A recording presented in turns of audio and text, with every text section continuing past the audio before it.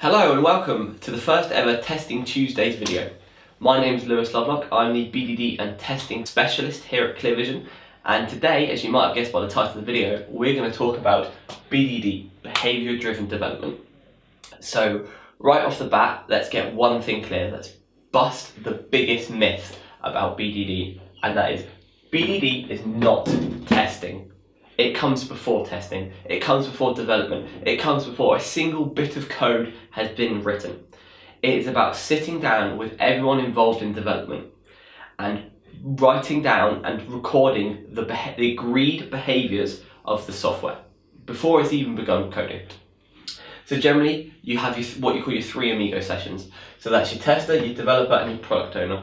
These are generally kind of the three areas of the development team. You're going to sit down and you're going to agree upon those behaviours. And the general idea behind behaviour driven development is this quote here that's not what I asked for. It's to stop the customer or the stakeholder saying that once you deliver your product. You could have spent months developing the software, you hand it to them, and they go, Well, that's not what I asked for, and it's complete waste of time. And I also like this quote, which is to deliver high quality software that meets the desired business outcomes for the first time. So you sit down and you want to record your behaviours, but how do you actually record that? So generally, typically recorded into Jira onto the user story. Not to pitch to you Jira, everyone understands Jira, most people use it. On the story, you then write down the acceptance criteria in what we call the Gherkin language. So Gherkin is for cucumber, and it is brilliant because it's near enough English.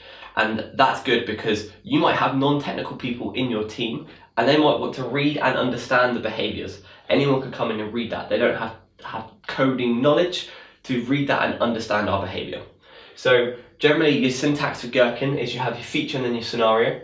So our scenario here is that we are running a hotel and our loyalty member is going to check in.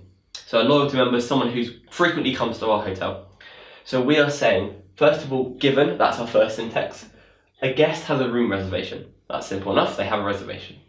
And second syntax, the guest is a loyalty member because we're talking about loyalty members in our scenario.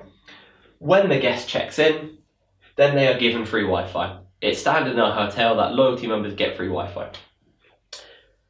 We can then vote upon that. So everyone in our team, everyone over here, can log in to Jira and they can vote to say they agree with this behavior, they are happy with it. They can raise questions if they want, and we can, through workflows, we can stop this passing on to be exported for coding if there are questions or queries raised against it. But once everyone is happy, we can then download this as a dot .feature file for Cucumber. In your IDE, you're then going to write your step definitions file, which actually contains the code to make this run. And this is moving on to more of a TDD development, if you wish.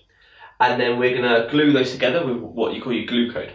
Once that's done, you can then export that for automated acceptance tests. And that's really where we start to bring to testing. After we've agreed upon the behaviors of our software, we go through this transition, we record it, we vote it, we are happy, we make sure we record everything for our software, then we can start writing our code and we can start automating and testing. So that's the biggest myth about BDD. If you go into BDD to begin with with a testing mindset, using it as a test tool to generate automated acceptance tests, you're going to eventually fail. You are not doing it correctly. You're not in the right mindset. It is a culture change that is needed within your business, much like Agile is a culture change. You don't just buy Jira and then suddenly you are, you are Agile. It's about the culture change of your development, and behavior-driven development is the same thing. So Thank you for watching. If you wanted more information or you want to have a chat about behaviour driven development, I'd love to hear from you. Otherwise, have a good day.